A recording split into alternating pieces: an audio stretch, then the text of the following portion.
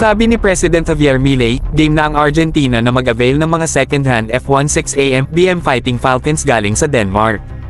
Pero teka, may dagdag kwento pa.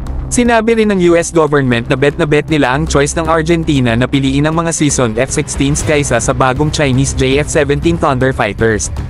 Ngayon, mag-number crunching muna tayo. Ito'y may presyong aabot sa 338 million dollars para sa 24 na F-16AM BM fighters, plus dagdag pa na 312 million dollars para sa iba't ibang klase ng air-to-air firepower. Yan ang AIM-9 Sidewinder Short Range at AIM-120 AMRAAM Beyond Visual Range Missiles, mga bro. Talagang intense. Sana all diba? At heto pa, may bonus pang financial package mula sa US, na ibibigay sa Argentina, na bibigyan sila ng anim na taon para bayaran ang buong halaga. Ngayon, may magtatanong siguro, bakit ba tayo Team Denmark F-16s kaysa sa mas bago pa na Israeli models? Ito ang sagot, mas mura at hindi pa masyadong stressed ang mga ito.